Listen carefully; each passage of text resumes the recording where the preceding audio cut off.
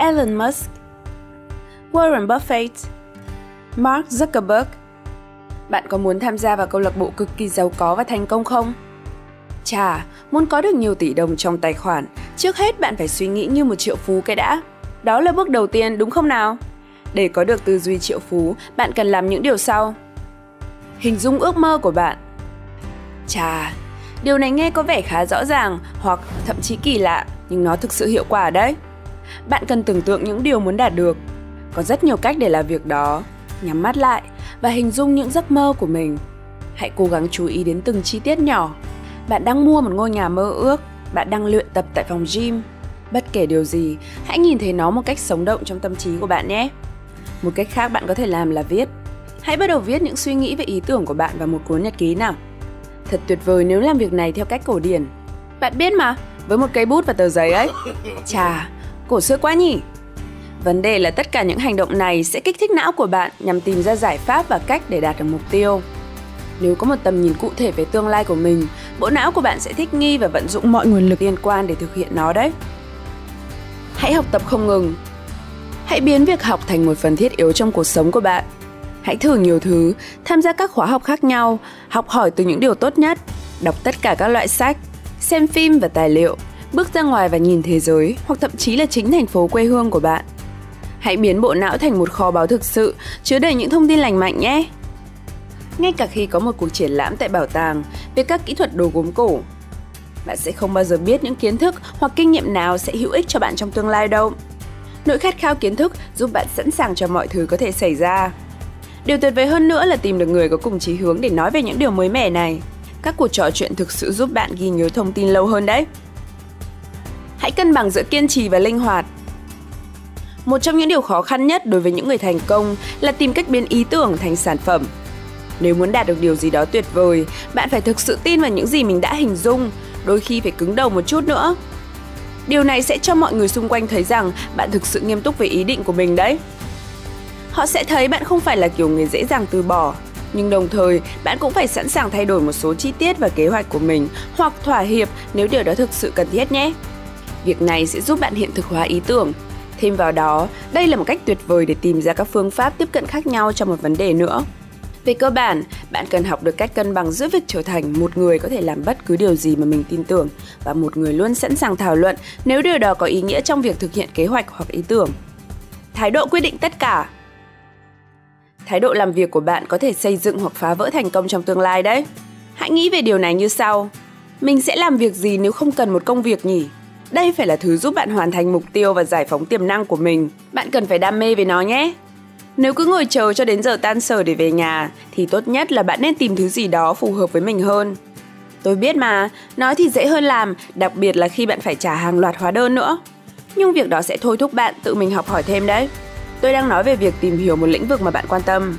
Và nếu muốn đạt được giấc mơ của đời mình, nhưng một thái độ tiêu cực khiến bạn ngay lập tức gạt đi vì không thể. Vậy thì hãy học cách từng bước hướng tới mục tiêu của mình nhé. Hãy chia nó thành các phần nhỏ hơn mà bạn có thể đạt được dần dần. Thành Rome đâu thể xây trong một ngày, phải không nào? Triệu phú cũng vậy, trừ khi họ thừa hưởng sự giàu có của mình. Và trong trường hợp đó, chà, khá là nhanh đấy. Đừng sợ thất bại. Giải quyết một vấn đề hoặc lập kế hoạch theo cách truyền thống có vẻ an toàn và nếu nó hiệu quả với những người khác thì nó cũng sẽ như vậy với bạn, phải không? Uhm, tôi sẽ không tin điều đó đâu. Tư duy triệu phú tiếp cận theo một hướng khác. Hãy làm theo cách của riêng mình. Tạo ra các phương pháp mới sẽ cho bạn một quan điểm mới về các vấn đề cũ và giúp tìm ra các giải pháp hiệu quả hơn. Quan trọng hơn cả, bạn phải là chính mình. Tôi biết, nghe có vẻ dập khuôn, nhưng hãy nghe này, đừng cố gắng lặp lại con đường của những người thành công. Bạn có những kỹ năng và kiến thức độc đáo của bản thân đấy. Đừng so sánh mình với người khác, hãy tạo lối đi cho riêng mình nhé.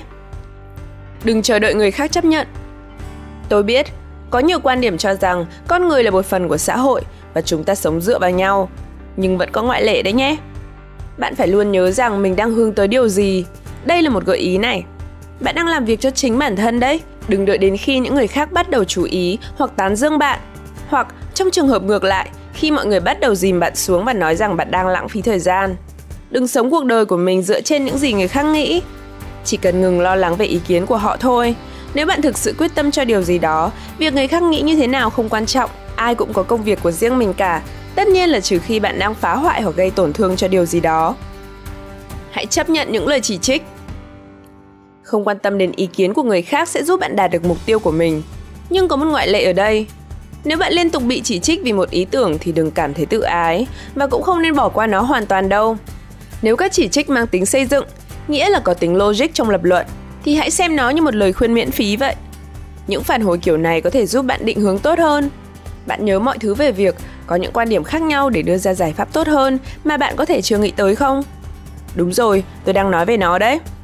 Thêm vào đó, đây là cách tuyệt vời để biết mọi người cần gì. Những lời chỉ trích đúng đắn là một công cụ mà bạn nên tận dụng và các triệu phú biết điều đó. Hãy nhớ rằng bạn cũng chỉ là con người.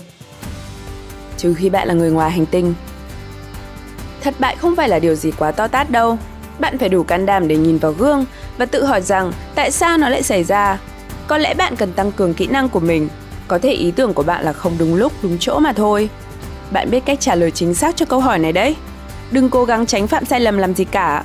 Chúng ta không thể tránh khỏi vì bạn là con người. Hãy xem nó là một việc cần thiết của quá trình học tập nhé. Hãy biến thất bại của bạn thành trí tuệ. Học hỏi từ những sai lầm của mình, nó sẽ dạy cho bạn nhiều nhất đấy.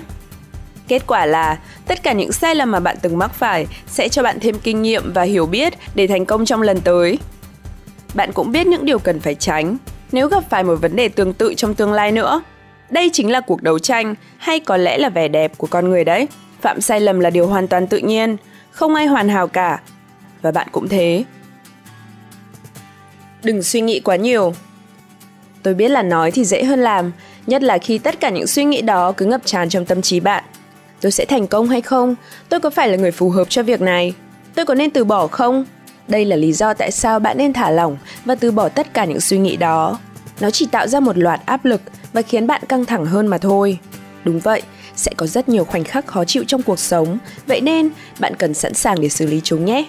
Sẽ có lúc bạn cảm thấy mình bị mắc kẹt hoặc thậm chí vỡ vụn, nhưng bạn phải thắng những suy nghĩ đó bằng lý trí. Tôi có thể làm được vì tôi thông minh, có động lực và cả một kế hoạch nữa. Thành công khởi nguồn trong đầu bạn. Hãy rèn luyện bộ não của mình để suy nghĩ như một triệu phú nhé. Vậy, bạn sẽ làm theo lời khuyên triệu đô nào trước? Hãy cho chúng tôi biết ở phần bình luận bên dưới nhé. Đừng quên cho video này một like, chia sẻ nó với bạn bè và nhấn đăng ký để luôn đồng hành cùng với soi sáng nha.